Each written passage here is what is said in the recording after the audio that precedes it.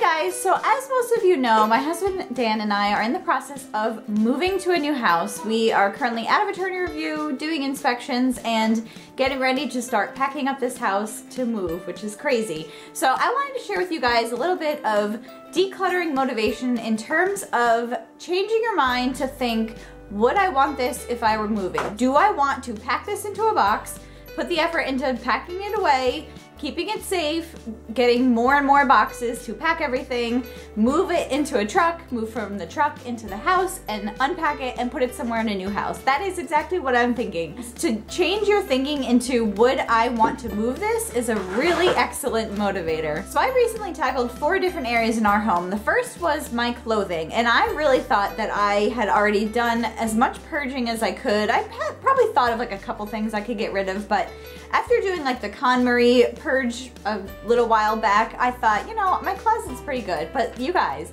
I went through my closet and my drawers, my dresser drawers. I got rid of so many clothes. I did get a few things for Christmas, so I tried to do like one in, one out, but I got rid of way more than I even thought I could. After I did the KonMari purge, um, I held on to a few things I wasn't sure about, and so this time around, I definitely made sure to purge them. A couple things I set aside that I thought maybe my sister would want, so I gave those to her right away. And then the rest I just straight donated to a local thrift store and got them out of the house out of my dresser, out of my closet, and I have so much more room in my closet so that when we do move, I know that I'm bringing only the things that I love into the new closet and I have so many extra hangers that I can use and it just feels really good to be able to move a wardrobe that I love into a new home and not have to deal with purging once I get there. The next area that I tackled was our basement sort of storage room. We had a few things in there that again we weren't really using so I purged those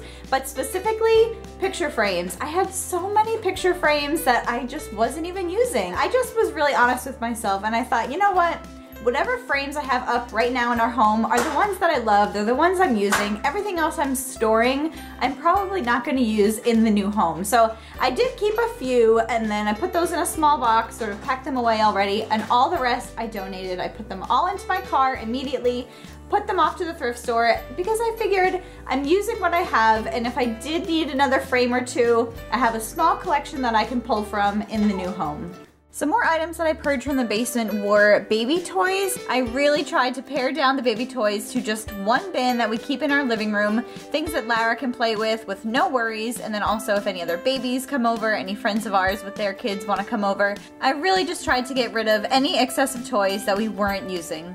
The third area that I went to was our linen closet and we have a very small linen closet and it has three little baskets that we keep dental things, beauty things, and medicine. So I made sure to go through all three of those bins and while they're small, there definitely were things in there that we weren't using that we didn't need, things that were sort of backup items that I could go ahead and refill into their designated areas and then things we weren't using, things that just had excessive packaging that I could get rid of. I know for us, we had an excessive amount of those like medicine dispensers because every time you buy a medicine, you get a new dispenser and you just throw it in the bin. I had so many that we were able to get rid of. I just kept three because I figured that was a good amount. I probably only needed one, but just to be sure, I kept two of one size and one of another and that should be perfectly fine as well as like three different band-aid boxes that I was able to consolidate and just get everything nice and streamlined so that again when we move I can put those bins into the new linen closet or wherever we plan to put them and I know that everything has already been streamlined and I know what is in each of those bins. The last area that I tackled was our bathrooms. We have a medicine cabinet as well as some shelves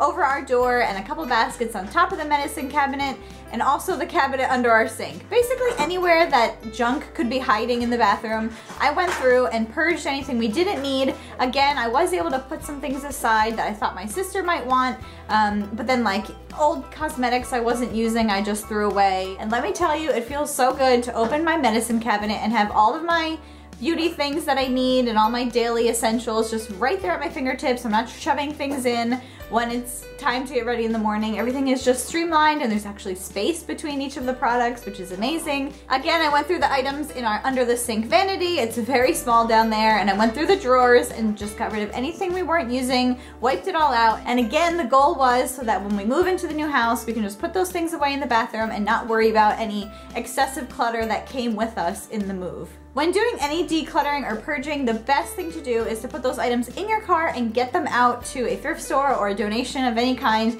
right away, not to hold on to them. And for us specifically, it was really important to get those things out of the house so that I can continue to evaluate what we have and what we really want to bring with us and again, put the effort into moving and packing and unpacking in a new house. So hope this was some encouragement to you guys. If you need some motivation to declutter or purge, just think, would I want to pack this and bring it to a new home? Another thing to think is, if I were in a new home, would I want to purchase this item for my home? And if the answer is no, then just part with it and be done with it. Let me tell you, I have never regretted anything I've ever donated. And I am constantly putting things into our donation bin, getting them out of the house, and I've never looked back. So hope that encourages you guys. Hope you have a blessed new year, and I'll be talking to you soon.